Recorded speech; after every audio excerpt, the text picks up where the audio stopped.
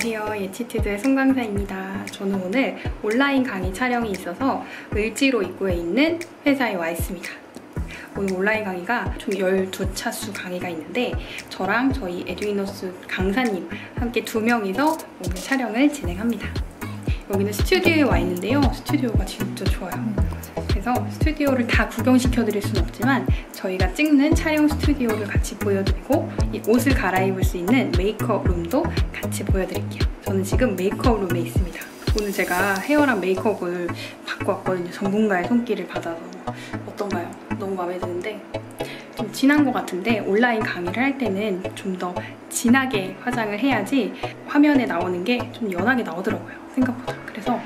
진하게 하시는 거를 추천을 드리더라고요. 저는 오늘 일곱 벌을 갈아입을 거라서 지금 제가 입고 있는 옷이 한 벌이고 또 하얀색 원피스에 자켓을 하나, 둘, 셋 이렇게 입었고 또 정장 바지도 입고 또 원피스 정장도 이렇게 입으면서 한 일곱 벌 정도를 갈아입습니다. 저랑 온라인 강의 촬영하는 거 같이 보러 가실게요.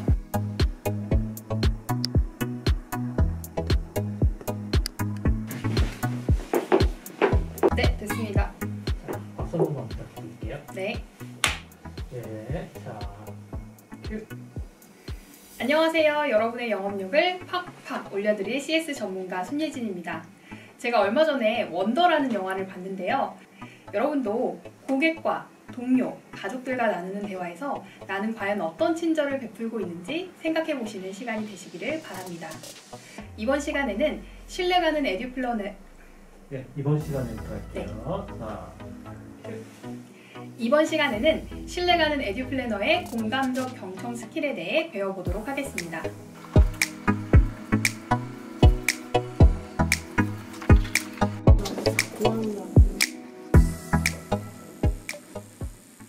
안녕하세요. 보시카 서비스 가족 여러분. 보시 서비스 excellence 프로그램 교육을 저에 대해 간단하게 소개 저에 대한 간단한 소개를 드리면 안녕하세요. 안녕하세요. 반갑습니다. 보시카 서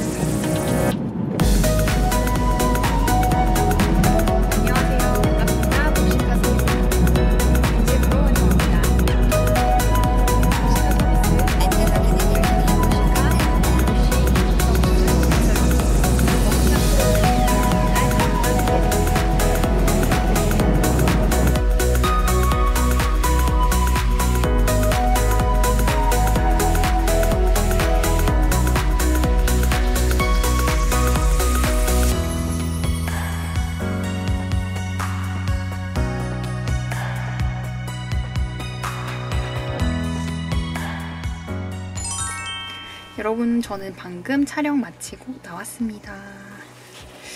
어, 30분 정도의 컨텐츠 영상인데 다 촬영하니까 1시간 정도 소요되는 것 같아요.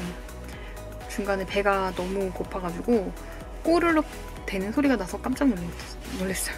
그 소리까지 다 녹음이 된다고 하더라고요. 좀 조금은 먹고 와야 될 것 같아요. 밥을 좀 안 먹고 왔는데 아, 힘들었습니다. 그래도 마- 잘 마치고 저는 이제 다음 일정으로 이동하려고 해요.